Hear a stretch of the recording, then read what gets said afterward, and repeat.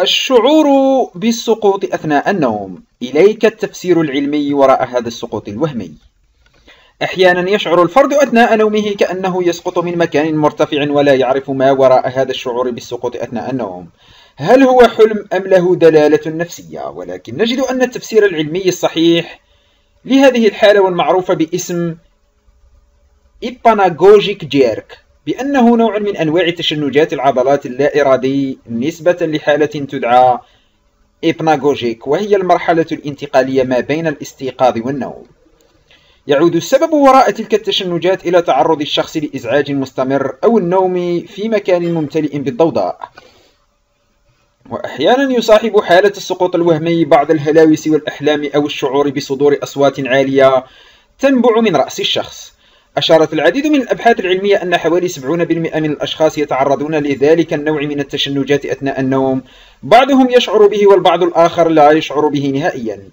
والجدير بالذكر قيام عدد من العلماء بإجراء أبحاث عدة للتعرف أكثر على تلك الظاهرة وقد وجدوا احتمالية كبرى أن أن تعرض الأشخاص للقلق والتوتر والضغوط النفسية بصورة مستمرة أو اعتيادهم على تناول قدر كبير من المشروبات التي بها كافيين تؤثر فعليا في تكرار التشنجات وقوتها.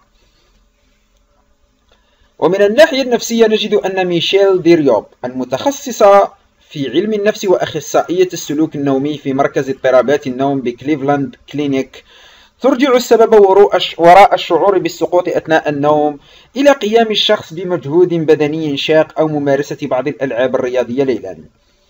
تبعا لعدة دراسات أخرى أثبتت أن هذا الشعور بالسقوط الوهمي رد فعل طبيعي أثناء انتقال جسم الإنسان من الاستيقاظ إلى النوم العميق ويعود حدوثه بسبب اختلال أعصاب الأشخاص أثناء النوم. وعلى غرار هذا الرأي أثبتت أبحاث عدة أن تلك التشنجات أثناء النوم تحدث كرد فعل طبيعي لاسترخاء العضلات منذ لحظات النوم الأولى. والتفسير الشائع بين جموع العلماء هو قيام المخ بتفسير بداية النوم والاسترخاء بأن الشخص يقع من مكان مرتفع فتكون تلك الانعكاسات رد الفعل الطبيعي للعضلات. وخلاصة القول وبعد العديد من الآراء والاقتراحات ذكرت دريوب لموقع لايف ساينس أنه لا داعي للقلق نهائيا بشأن السقوط الوهمي أثناء النوم فهو أمر طبيعي ولكن في حالة تكرارها بشكل مبالغ بحيث تصبح عبء نفسي لصاحبها فعليه التوجه مباشرة إلى أخصائي نوم وذكر ما يدور بباله من مخاوف.